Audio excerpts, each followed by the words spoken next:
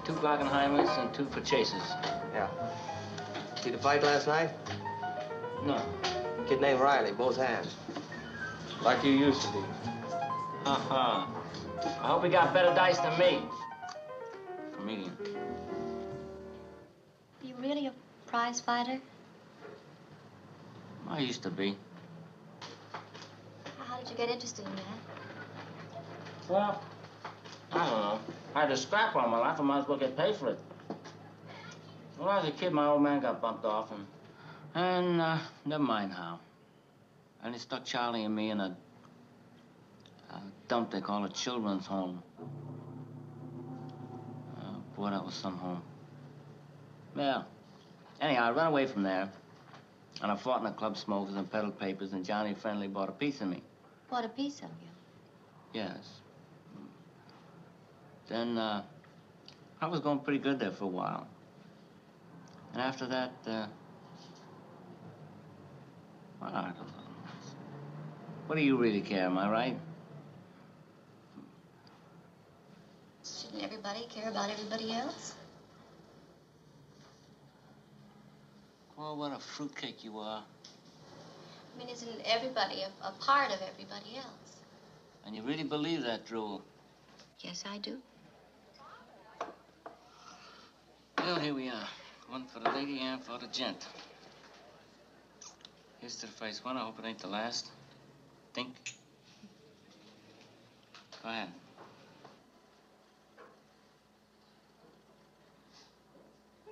Good. Oh, not like that. One hunk. Come on. Well, Hey, you want to hear my philosophy of life? Do it to him before he does it to you. I never met anyone like you. There's not a, a spark of sentiment or romance or human kindness in your whole body. What good does it do you besides get you in trouble? And when, when, things and, and people get in your way, you just, just knock them aside. Get rid of them. Is that your idea? Listen, don't look at me when you say that. It wasn't my fault what happened to Joey. Fixing him wasn't my idea. Who said it was? Well, everybody's putting a needle on me. You and a mug in a church and Father Barry. I didn't like the way he was looking at me. He was looking at everybody the same way. Oh, yeah? Anyhow, what's with this Father Barry? What's his, what's his racket? His racket.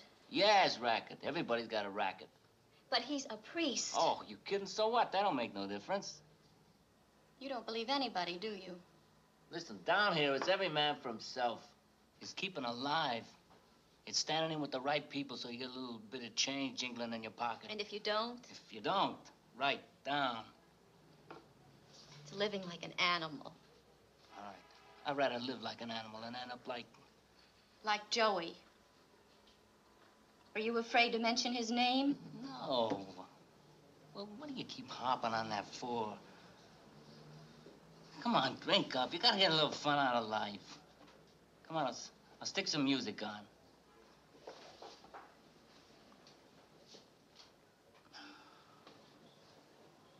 What's the matter?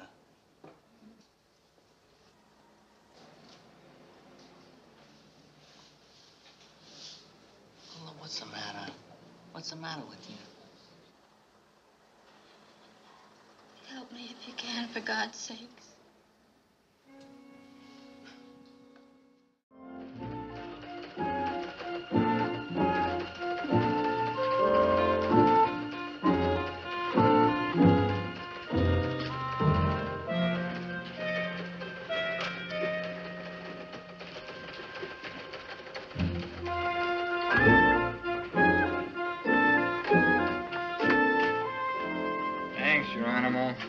Over to the engravers.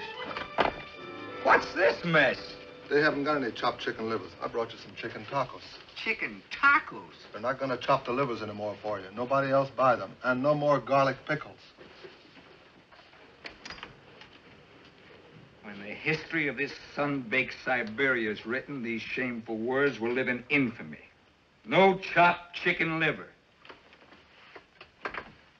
No garlic pickles. No Lindy's. No Madison Square Garden. No Yogi Berra. What do you know about Yogi Berra, Miss Deverich? I beg your pardon? Yogi Berra! Yogi? Why, it's a sort of religion, isn't it? You bet it is. A belief in the New York Yankees. You know what's wrong with New Mexico, Mr. Wendell? Too much outdoors. Give me those eight spindly trees in front of Rockefeller Center any day. That's enough outdoors for me. No subways smelling sweet, sour. What do you use for noise around here? No beautiful roar from eight million ants fighting, cursing, loving. No shows, no South Pacific. No chic little dames across a crowded bar. Worst of all, Herbie, no 80th floor to jump from when you feel like it. Is this one of your long playing records, Chuck? Let's hear the other side. All right. I'll play it for you. When I came here, I thought this was going to be a 30-day stretch, maybe 60. Now it's a year. It looks like a life sentence. Where is it? Where's the loaf of bread with a file in it? Where's that big story to get me out of here? One year, and what's our hot news? A soapbox derby. A tornado that double-crossed us and went to Texas. An old goof who said he was the real Jesse James until they found out he was a chicken thief from Gallup by the name of uh, Schimmelmacher. I'm stuck here, fans. Stuck for good. Unless, of course, you, Miss Deverich, instead of writing household hints about how to remove chili stains from blue jeans, get yourself involved in a trunk murder. How about it, Mr. Deverich? I could do wonders with your dismembered body. Oh, Mr. Tatum. Really? Wow. Or you, Mr. Wendell. If you'd only toss that cigar out of the window, real far, all the way to Los Alamos, boom! now, there would be a story. I told you no liquor in the office. I thought I could trust you. What a suspicious nature you have, Mr. Boot. Mm. Pretty, isn't it? I make those things every night when I go home out of matches and toothpicks. Calms my nerves. Sorry, Tatum. Maybe you do need a change. Do I? And I got news for you. You're going out of town for a couple of days. How far and in what direction? Los Barrios County. They're having a rattlesnake hunt, and I want you to cover it. A rattlesnake hunt. That's right. And take Herbie along. Let's get some art. A rattlesnake hunt. Well, isn't that ginger peachy? A real stop the press, pull out the front page, get ready to replate assignment. Have a nice time, Chuck. See the country. And don't worry. I'll put the paper to bed. Well, it looks like we're starting our second year with a real bang. Okay, fan, pack up. Please, Will. If you just tell me what this is all about.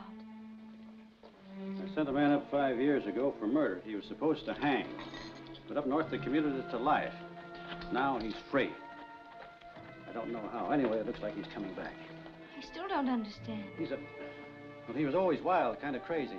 He'll, he'll probably make trouble. But that's no concern of yours, not anymore. I'm the one who sent him up. Well, that was part of your job. That's finished now. They've got a new marshal. Won't be here till tomorrow. Seems to me I've got to stay. Anyway, I'm the same man with or without this. Well, that isn't so. I expect he'll come looking for me. Three of his old bunch are waiting at the depot. That's exactly why we ought to go. They'll just come after us. Four of them. We'd be all alone on the prairie. We've got an hour. What's an hour? Oh, we could What's reach... a hundred miles? We'd never be able to keep that store, Amy. They'd come after us and we'd have to run again as long as we live. No, we wouldn't. Not if they didn't know where to find us. Oh, Will. Well, I'm begging you, please, let's go. I can't. Don't try to be a hero. You don't have to be a hero, not for me. I'm not trying to be a hero. If you think I like this, you're crazy. Look, Amy, this is my town. I've got friends here. I'll swear in a bunch of special deputies, and with a posse behind me, maybe there won't even be any trouble. You know there'll be trouble. Then it's better to have it here. I'm sorry, honey. I, I know how you feel about it. Do you? Of course I do. I know it's against your religion, though. Sure, I know how you feel. But you're doing it just the same.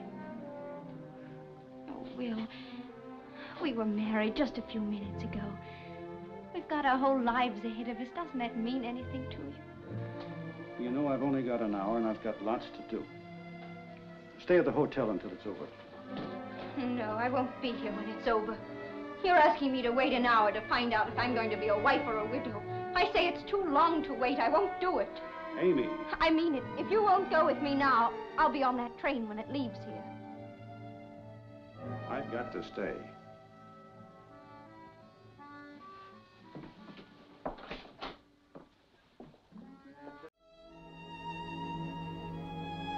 am I doing here? What happened? Well, you fell into San Francisco Bay. I, I uh, tried to dry your hair as best I could. Your things are in the kitchen. They'll be dry in a few minutes. Come on over by the fire.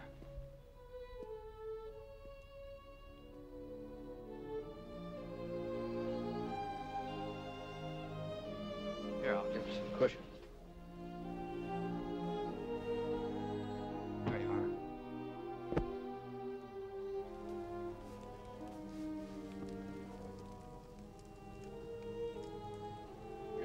Coffee? Well, here, you better have some. Or, or perhaps you'd like a drink. I fell into the bay and you fished me out. That's right. Thank you.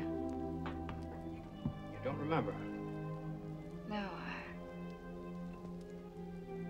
You remember where you were? yes. Yes, of course I remember that. Then I, I- must have had a dizzy spell and fainted Where were you? at Old Fort Point. Out at the Presidio. Of course I remember. I often go there Why? Why, why do you go there? because I, I love it so. It's beautiful there. Especially at sunset. Thank you for the fire. Where were you before? When? This afternoon, I mean. Wandering about. I know, but where? Where were you just before? Downtown shopping. Here, you better have some coffee. I think it's still warm. You're terribly direct in your questions. Oh, I'm sorry. I didn't mean to be rude. You're not. You're merely direct. And what were you doing there at Old Fort Point? Oh, just wandering about. Oh, you like it too. Yes. And where had you been just before? I'd been to the Palace of the Legion of Honor, the art gallery. Oh, yes. That's a lovely spot, isn't it? Never been inside, but it looks so lovely driving past.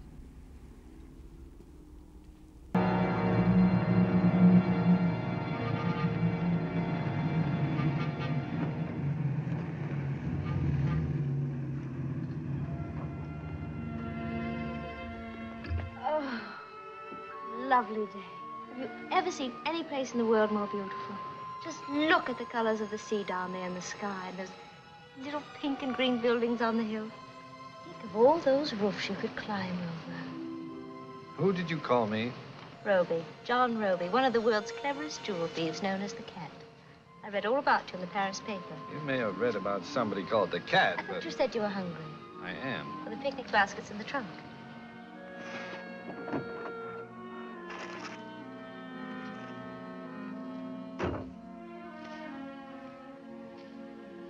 Tried to bluff me, Mr. Robie, and then I can have the fun of telling you how clever I was. Uh, Since I'm not Mr. Robie, but Mr. Burns, there would be hardly any point in trying to bluff you.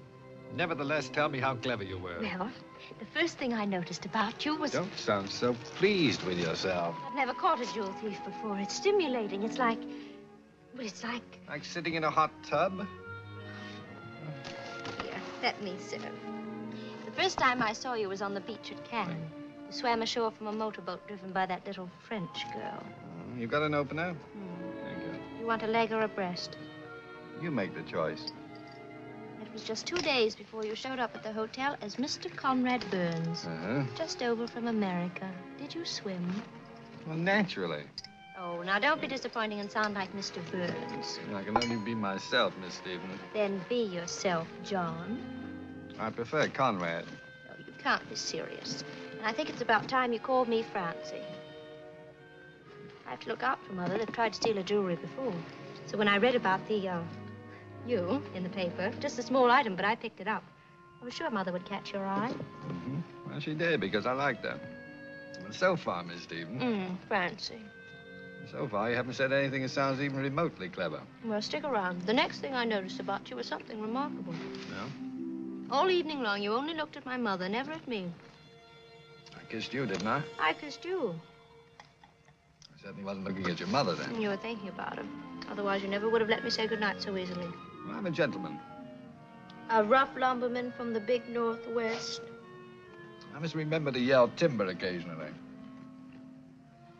Now, here comes some of the clever part. You're just not convincing, John. You're like an American character in an English movie. Mm-hmm.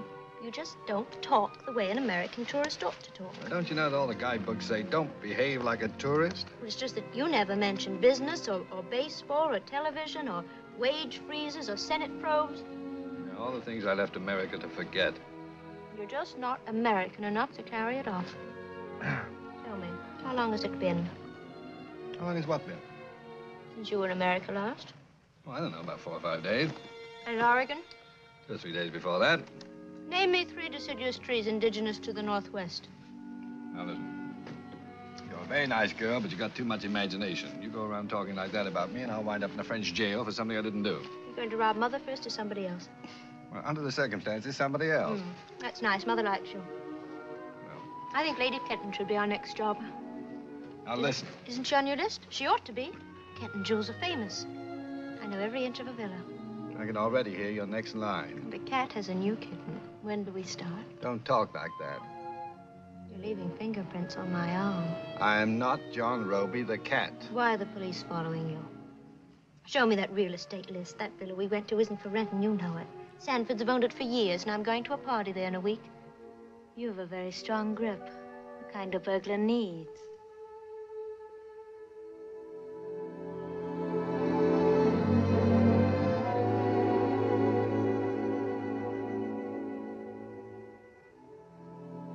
Why you came up here, isn't it? We'll have cocktails at 8 and dinner at 8.30, all in my suite. We'll talk about it there. I can't come. I'm going to the casino and watch a firework display. You get a better view from my place. Already got another date. Everywhere you go, I'll have you paged as John Robie the cat. 8 o'clock. And be on time. Haven't got a decent watch. Steal one.